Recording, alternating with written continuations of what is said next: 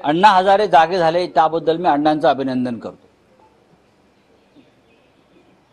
राळेगण सिद्धीमध्ये हालचाल सुरू झाली. आणि ती अजित पवारांच्याच बाबतीत सुरू झाली. याबद्दल मी अण्णा हल्ले अण्णा बोलले अण्णाने पत्र लिहिलं याबद्दल मी अण्णांचं आभार मानतो अभिनंदन करतो. पण या महाराष्ट्रामध्ये फक्त शिखर बँक घोटाळा झालेला नाही. गेल्या दहा वर्षामध्ये या राज्यामध्ये आणि देशामध्ये घोटाळेच घोटाळे झालेले आहेत. अण्णांनी खरं म्हणजे इलेक्ट्रॉल बॉन्डचा घोटाळा जो दहा हजार कोटी त्याच्यावर सुद्धा अण्णाने आवाज उठवायला पाहिजे. ज्या भ्रष्ट मार्गानं नरेंद्र मोदींनी निवडणुका जिंकल्या त्या देशामध्ये अण्णासाहेबांनी त्याच्यावरती आवाज उठवायला पाहिजे. ईडी आणि सीबीआयचा गैरवापर करून जी खंडणी गोळा केली जाते या महाराष्ट्रात आणि देशात आणि ती खंडणी भारतीय जनता पक्षाच्या तिजोरीत जाते आहे अण्णाने त्याच्यावरती आवाज उठवायला पाहिजे. आय एन एस विक्रांत घोटाळा.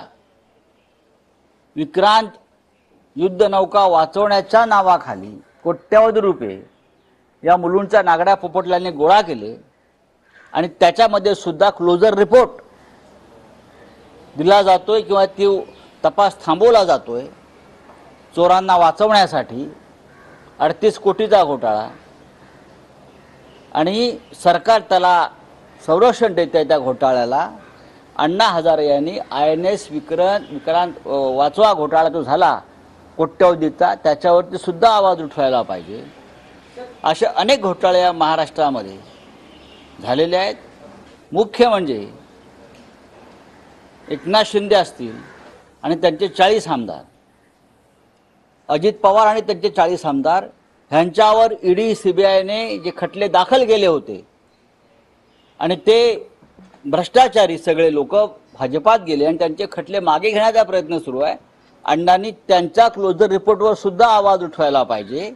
अण्णांना भरपूर काम आहे. आम्ही अण्णांचं अभिनंदन करतो. की फक्त एका शिखर बँकेपुरतं बघू नका.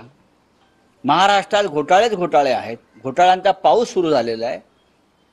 प्रफुल्ल पटेल यांची दीडशे कोटीची प्रॉपर्टी जी ईडीने जप्त केली. इक्बाल मिरची आणि दावशी संबंध आहे म्हणून. ही प्रॉपर्टी भारतीय जनता पक्षाला पाठिंबा देताच मोदी आणि शहांनी त्यांना परत दिली. हा सगळ्यात मोठा घोटाळा आहे. अण्णा हजारे यांनी रामलीला मैदानावर जाऊन त्या संदर्भात आवाज उठवायला पाहिजे. आम्ही सगळे त्यांच्याबरोबर उपोषणाला बसायला तयार आहोत.